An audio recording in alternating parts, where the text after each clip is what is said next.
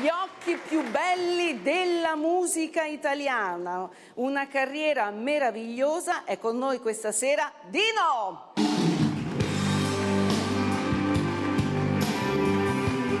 È vero! È, ve- è vero?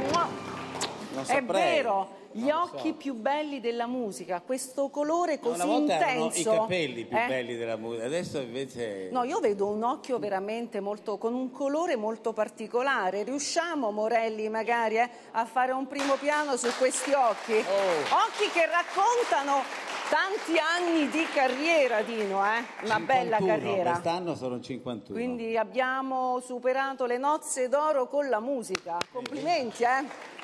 Perché tu hai iniziato giovanissimo. Giovani, avevo Come hai 15 iniziato? anni, 15 anni e mezzo. Eh, scoperto da... Da Teddy Reno. Teddy Reno. Partecipai al- alla festa degli sconosciuti nel 1900.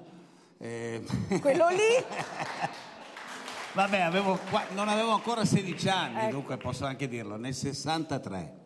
Ma come ti è venuta questa passione per la musica? Io cantavo all'asilo.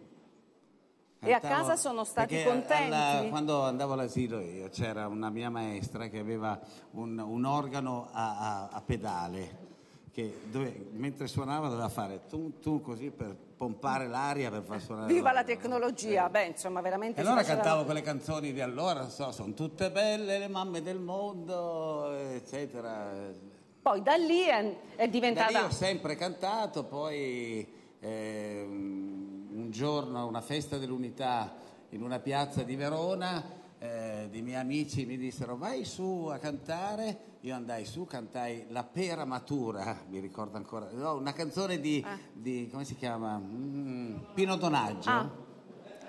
E quando scesi dal palco c'era un capo orchestra di un gruppo di Verona e mi disse no, a noi manca un cantante perché non vieni a cantare con noi, da lì è incominciato il tutto. Poi ci siamo presentati al teatro a Verona perché eh, venne Teddy Reno con Rita Pavone per cercare appunto nuovi, Nuovi talenti. cantanti. E Niente, poi da lì il resto è storia, poi Sanremo, poi tante tournée in Italia, all'estero, quindi veramente una bella carriera, un bel percorso Sì, musicale e professionale. Senti, ma com'è la tua immagine? La tua immagine insomma è bella. No, la tua, Ah, la, tua, mia, la tua immagine. Perché faccio questa domanda? Ho preso in prestito il titolo della canzone che Ho poi capito, ascolteremo. Com'è questa immagine? La mia immagine attuale? L'immagine in generale? Eh, L'immagine può piacere o non piacere, è un fatto soggettivo. Può piacere, anzi piace come, soprattutto la canzone che andremo ad ascoltare. Dino! Ok, andiamo.